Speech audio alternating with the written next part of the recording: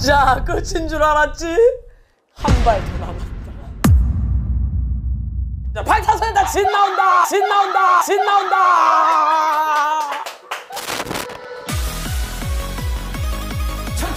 글쎄 BTS 아이고 말하면서도 구라같네. 누구세요? 슈퍼스타 진이라고 합니다.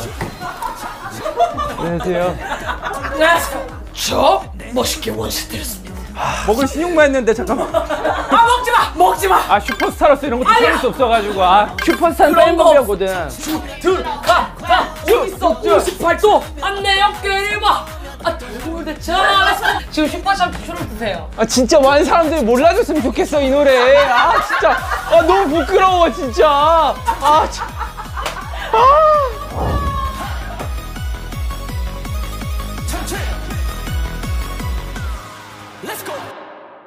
하나 둘 셋. 잘한 것 치프도 없지만 사랑합니다.